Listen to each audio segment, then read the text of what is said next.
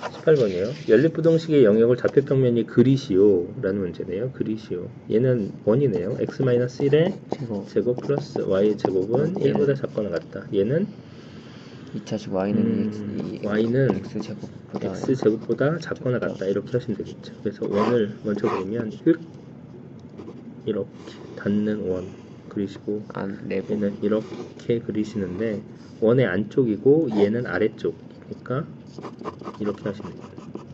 포물선의 아래쪽이야. y가 작으니까. 그리고 원에는 안쪽이니까 이렇게. 음,